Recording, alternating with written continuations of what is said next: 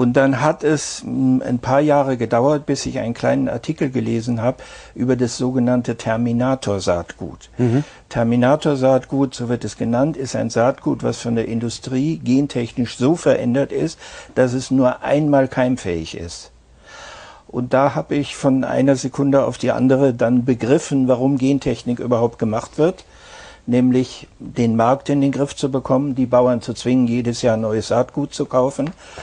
Und ähm, das hat mich, äh, ja, und, und ein wichtiger Punkt war natürlich, dass ich gemerkt habe, ich brauche kein Wissenschaftler zu sein, um das zu verstehen oder um zu sagen, das ist ein Punkt, den will ich nicht. Ja.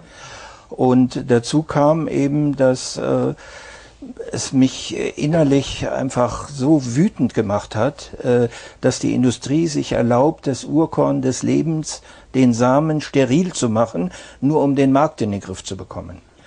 Und der zweite Punkt, der mich so empört hat, war eigentlich, ähm, dass eine Technologie in die Gesellschaft eingeführt wird, die nicht demokratisch abgestimmt ist.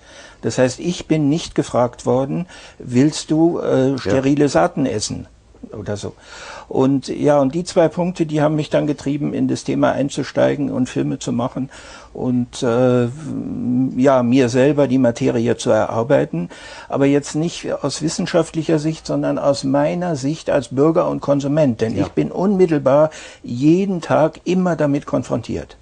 Also wir zeigen in dem Film ja zwei äh, Beispiele. Einmal über den Ignacio Chapella, ja. der in Mexiko ähm, mit seinen Studenten zusammen bei einer Untersuchung gentechnisch veränderten Mais gefunden hat. Das Schlimme war, es ist in Mexiko, dem Urland des, des Mais. Maises, wo es tausende von verschiedenen Sorten gibt und wo es eigentlich nicht hin sollte, die mexikanische Regierung es auch nicht wollte und trotzdem tausende Kilometer weg von einer Stelle, wo gentechnisch angebaut wurde, findet man plötzlich gentechnisch veränderten äh, ja. äh, Mais. Und das Zweite, und, und dafür ist er also, er hat es veröffentlicht in Nature und ist hart bestraft worden, verleumdet worden übers ja. Internet, über Wobei das eine äh, ganz Kampagnen saubere Messung war. Ist, ja. Also, ja. Er, also er hat nichts anderes gemacht, als die Ergebnisse, die seiner Forschung zugrunde lagen, nämlich zu, zu, zu testen, äh, inwieweit das, was er dort vorfindet, in einem Land, in dem es untersagt ist, gentechnisch verändert ist oder nicht. Und ja. ich meine, was macht er? Er findet es, er veröffentlicht es. Mhm. Und dann gibt's ja dann den berühmten Skandal in Nature. Ja, er hat diesen Artikel in Nature veröffentlicht, das ist eine Wissenschaftszeitung, ja. die so vorgeht, wenn jemand einen Artikel einreicht, dann gibt die Zeitschrift diesen Artikel an mindestens fünf oder sechs Wissenschaftler weiter, die den Artikel prüfen und sagen, okay, wir befinden das für gut gemacht, für äh, glaubwürdig, was auch immer. Ja, also sie bestätigen seriös, jedenfalls ja. die Seriosität dieses genau. Artikels. Ja. Nature hat den Artikel veröffentlicht, daraufhin ist Nature und Chapella übers Internet, über ein sogenanntes Viral Marketing äh, angegangen worden. Es wurden Professoren erfunden, die gesagt haben, also er ist vor allem in erster Linie ein Aktivist und kein Wissenschaftler und so weiter. Und er wurde, es wurde versucht, seine Ergebnisse klein zu machen. Und es muss noch irgendeinen anderen Druck gegeben haben auf Nature, die die Zeitschrift veranlasst hat, diesen Artikel zumindest zu kommentieren, was völlig ungewöhnlich ist. Also in 135 äh, Jahren einmal In 135 passiert. Jahren oder 132 ja, ist das ein einziges ja. Mal passiert.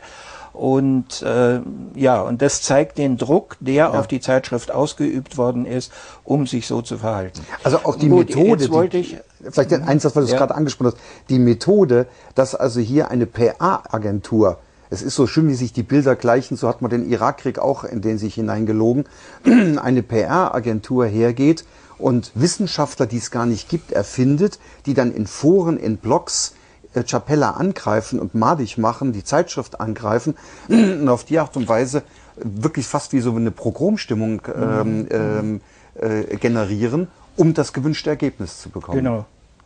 Äh, jetzt könnten wir vielleicht den zweiten Wissenschaftler ja. zeigen. Das ist der Arpad Pusztai. Ja.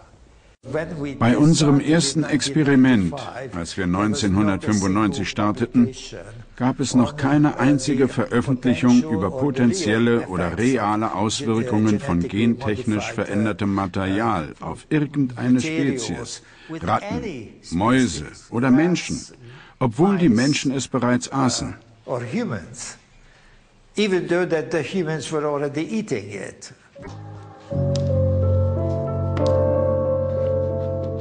This is the same variety of potato das ist die gleiche Kartoffelsorte Desiree, die wir 1995 für Gentechnikzwecke verwendeten. Und es ist die Sorte, die mit am einfachsten gentechnisch zu verändern ist. Der Punkt des ganzen Experimentes war, die Kartoffel vor Blattläusen zu schützen, den Hauptschädlingen in Schottland. Sie greifen das Grün der Kartoffel an. Uh,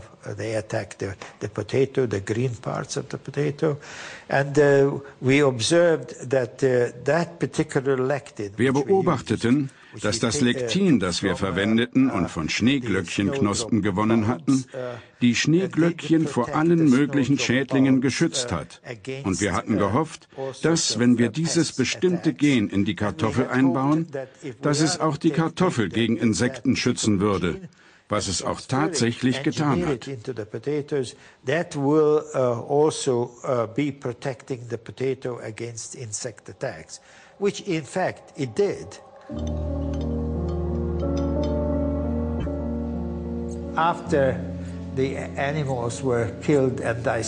Nachdem die Tiere getötet und seziert waren, fanden wir heraus, dass sich deren innere Organe im Vergleich zu den mit nicht genmanipulierten Kartoffeln gefütterten unterschiedlich entwickelt hatten. Einige der inneren Organe, wie zum Beispiel der Darm, hatten an Größe zugenommen, obwohl die Ratte selbst nicht so schnell gewachsen war. Einige der anderen Gewebeproben von Leber oder Nieren hatten sich nicht so gut entwickelt wie die der Vergleichsgruppe. Schlussendlich fanden wir, und das ist wichtig, in diesen Daten 36 höchst signifikante Unterschiede zwischen den Tieren, die mit genverändertem oder nicht genverändertem Futter gefüttert worden waren. GM-fed animals uh, and the non-GM-fed animals.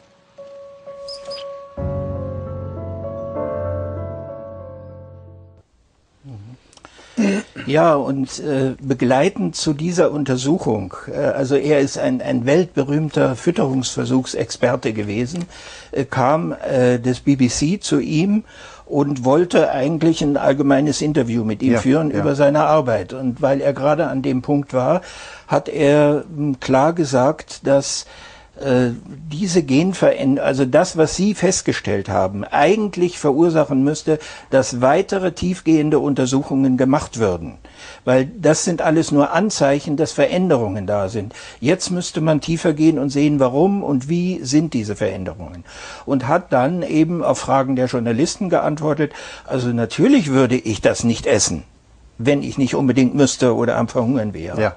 Und auf der anderen Seite eben äh, findet er es unmöglich, dass seine Mitbürger, denn in England standen gentechnisch veränderte Lebensmittel in den Supermarktregalen, ja. dass sie als Versuchskaninchen benutzt würden. Hat er auch gesagt. Also hat er deutlich gesagt. gesagt ja. Und das hat dann diese Bombe ausgelöst, dass ähm, angeblich von Clinton bei Blair angerufen, von Blair beim Institut angerufen, er dann zwei Tage später aus dem Institut rausgeflogen ist. Dazu muss man sagen, er war in Schottland, er ist ja. Ungar, aber war in Schottland als Wissenschaftler Richtig, tätig. ja, seit 35 Jahren ja, in Schottland genau, tätig. Ja. Und ist rausgeflogen aus dem Institut und hat ein Redeverbot bekommen, äh, durfte auch seine ganzen Unterlagen nicht mitnehmen, flog aus der Royal Society raus. Royal Society ist so etwas wie bei uns die Wissenschaftsakademie. Ja und ist bis heute nicht wieder aufgenommen worden ja. oder rehabilitiert worden. Obwohl von, ich glaube, mindestens 35 Wissenschaftlern sich eingesetzt haben und auf seine, die Ernsthaftigkeit und die Wichtigkeit seiner Untersuchung hingewiesen haben. Aber da kommen wir zu dem entscheidenden Punkt. Das war 1998, 99. Bis heute gibt es keine Untersuchungen, die das fortführen würden oder die auf anderer Ebene Ähnliches äh, angucken würden, um rauszukriegen, ist gentechnische Veränderung gut für die Umwelt, gut für unsere Gesundheit und so weiter. Stattdessen wird aus USA nach wie vor, also nicht nur USA, Argentinien, Brasilien, Kanada, gentechnisch verändertes Futter für unser Vieh in Europa importiert. Und das heißt, das die landet Tiere, bei uns dann natürlich. ja. ja. die Tiere essen es. Wir ja. wissen nicht, was mit den Tieren passiert. Aber Pustai sagt, diese Tiere, die gentechnisch verändertes Futter gefressen haben, sind nicht mehr die gleichen Tiere, wie sie vorher waren. Und wenn wir dieses Fleisch essen, was passiert mit uns als Menschen? Richtig.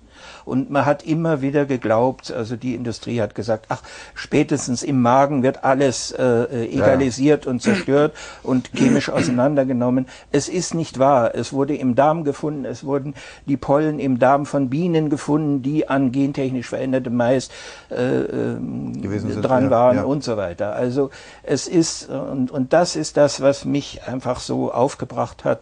Und jetzt komme ich wieder an den Ausgangspunkt zurück. Solche Fälle, die so hart bestraft werden und so öffentlich be, be, be, beachtet werden, die sind natürlich ein Lehrbeispiel für die jungen Wissenschaftler, um zu sagen, pass auf, Sonst so kann genauso. es dir gehen, ja, ja. wenn du dich in diese Bereiche ja. vorwagst. Ja, es ist eigentlich unbegreiflich, denn alle Umfragen seit 10, 15 Jahren belegen, die Menschen wollen zu 70, 80, 90 Prozent in ganz Europa kein Genfood essen. Und trotzdem betreibt die Politik dieses. Ja. Und ich erinnere mich noch an ganz genau, als Seehofer damals Landwirtschaftsminister wurde. Da gab es ein Interview bei der Maischberger im Fernsehen, da wurde er auch gefragt nach Gentechnik und so. Und dann war seine lapidare Antwort, alle Welt macht das, da können wir nicht zurückstehen. Und es wurde den Amerikanern geglaubt, die gesagt haben, es ist völlig ungefährlich, denn eine gentechnisch veränderte Pflanze ist ja das gleiche wie eine normale Pflanze. Ja, ja. Was äh, schon von sich aus blödsinnig ist, weil gleichzeitig wollen sie ja ein Patent haben.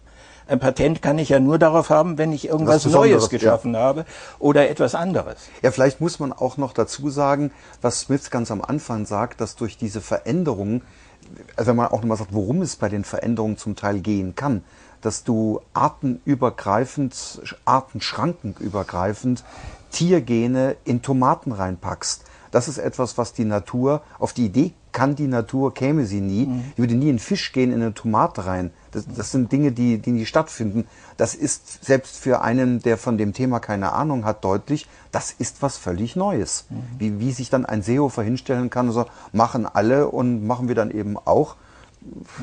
Rousseau hat ja gesagt, dass der Ursprung der Ungleichheit zwischen den Menschen eigentlich am privaten Eigentum liegt. Und dann fing alles an. Es fang so an, dass ein Mensch äh, ein Grundstück eingezäumt hat mit einem Zaun und sagte, das gehört mir. Und das Schlimme, hatte Rousseau gesagt, ist nicht, dass er das getan hat, sondern dass die anderen es geglaubt haben, dass es ihm gehört. Dasselbe kann man heute im Bereich Gentechnik sagen.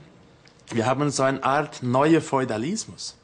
Die Naturressourcen werden privatisiert und die anderen Menschen, denen diese Naturressourcen auch gehören, zahlen, damit sie Teile von diesen Ressourcen wieder nutzen können. Und Teil davon ist sogar Wissen, was vorher schon produziert war und jetzt wieder patentiert wird. Sogar die Natur wird patentiert.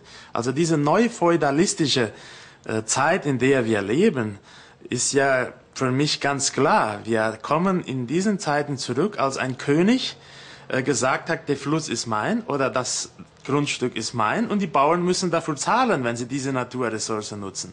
Damals gab es ja die Religion, um das zu legitimieren, zu rechtfertigen. Heute, merkwürdigerweise, machen die Wissenschaftler das. Liebe Zuschauer, www.denkmal-film.com ist die äh, Filmwebsite äh, von Bertram Verhaag und www.gekauftewahrheit in einem Wort.de die spezifische für diesen Film. Ich will den auch nochmal zeigen.